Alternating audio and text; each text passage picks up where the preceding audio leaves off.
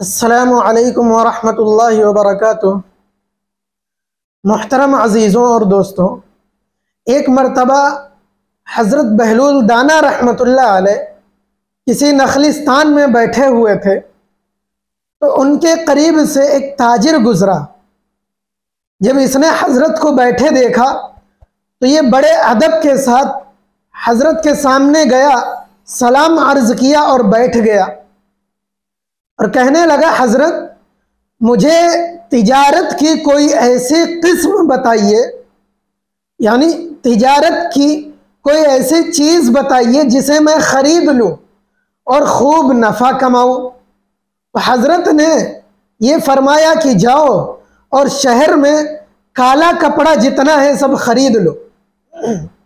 तो ये गए शहर में जितना काला कपड़ा था जिस, जिसके पास कपड़ा था, मॉल में, बाजारों में, जहाँ भी काला कपड़ा जिसके पास भी था, ये गए और सब खरीद के जखीरा बना लिया। कुछ दिनों के बाद शहर का बड़ा आदमी फौत हो गया। उसका इंतकाल हो गया। उसकी डेथ हो गई। तो अब लोग मातमी लिबास पहनने के लिए काला कपड़ा ढूंढ रहे हैं। कहीं उनको कपड़ा ही नहीं मिल रहा। बाज़ार देख डाला, मॉल में देख डाला, जगह जगह देख डाला, कहीं उनको कपड़ा नसीब नहीं हो रहा। मालूम चला कि फला शख्स के पास सारे कपड़े मौजूद हैं। तो लोग इसके पास आते हैं और कहते हैं, मुझे काला कपड़ा चाहिए। तो अब ये मुँह मांगी कीमत में लोगों को कपड़े बेच रहा। मुँह मांगी कीमत में। अब ये इतना अमीर हो गया, इतना अमीर हो गया कि सारी ज़िंदगी अगर ये मेहनत करता, नफा कमाता, तिजारत करता, सारी ज़िंदगी ये इतना नफा ना कमा पाता जितने, जितना इसने इसमें कमा लिया। अब ये बड़ा आदमी बन गया, बड़ा अमीर बन गया, कबीर बन गया, घोड़े पर सवार, बन ठन के ये गुजर रहा था कि कहीं पर रास्ते में इसने फिर से देख लिया तो इसने इस मरतबा घोड़े पर बैठे बैठे ही आवाज़ लगाई कि, ओ दीवाने, इस बार क्या खरीद लूँ? ओ दीवाने, इस बार क्या खरीद लूँ? तो हज़रत ने फरमाया कि, जाओ, सारे शहर के तरबूज खरीद लो। अब ये गया और जितनी जमा पूंजी थी, जितना नफा था, सारे नफे से इसने तरबूज खरीद लिया। अब पाँच छह दिन गुजरे कि सारे तरबूज खराब हो गए। सारे तरबूज खराब हो गए। अब ये कौड़ी कौड़ी का मुहताज हो गया। परेशान। उसी खस्ता हाली में ये कहीं से गुजर रहा था कि फिर से हज़रत बहलुल दाना रहमतुल्लाह से मुलाकात हो गई। तो ये कहने लगा कि हज़रत, आपने ये क्या किया? ये मेरे साथ अच्छा नहीं किया आपने। ये क्या किया आपने? तो हज़रत ने फरमाया, मैंने नहीं किया, ये तेरे अल्फाज ने, तेरे लहजे ने किया है। जब तू मेरे पास पहली मर्तबा आया तो तूने अदब से पूछा, तू अमीर हो गया। दूसरी मर्तबा आया, तूने अदब से नहीं पूछा, तूने गुस्ताखी की तो तू गरीब हो गया। तू मुहताज हो गया, तू लाचार हो गया तो कहीं का नहीं बचा। इसीलिए कहा जाता है कि बा अदब, बा नसीब, बे अदब, बे नसीब।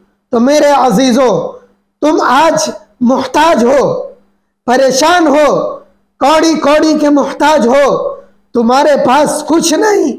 कल को ऐसा हो सकता है कि तुम्हारी किस्मत बदल सकती है।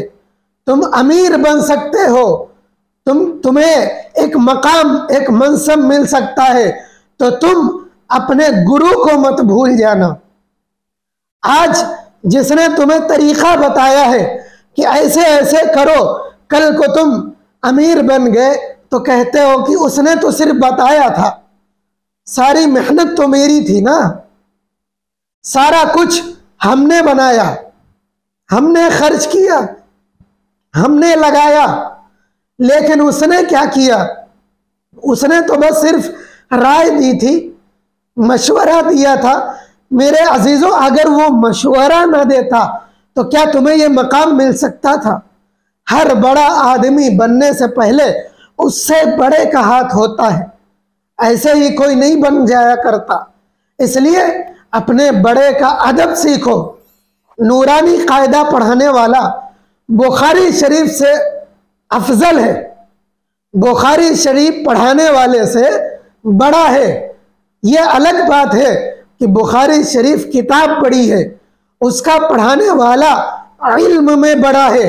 लेकिन तुम भूल जाते हो।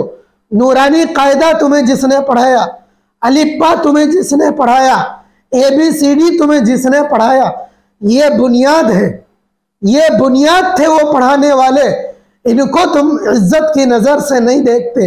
इनको हज़रत जी हज़रत जी नहीं करते हो। शेख आ गया तो सर झुका लेते हो। हज़रत हज़रत करते हो। अरे उसको देखो ना, जिसने तुम्हारी बुनियाद बनाई।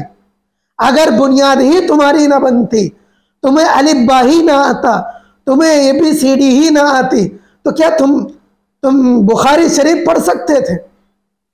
तुम मिशका शरीफ पढ़ सकते थे? तुम अबू दाऊद शरीफ पढ़ सकते थे? तुम तिरमिजी शरीफ पढ़ सकते थे? तुम नसाई शरीफ पढ़ सकते थे। मेरे अजीजों, बताओ ना तो फिर उनकी कद्र क्यों नहीं करते? ये क्यों कहते हो? अरे, वो तो नूरानी कायदे वाले उस्ताज हैं। वो तो ए बी सी डी वाले उस्ताज हैं। नहीं, वही तो बुनियाद है।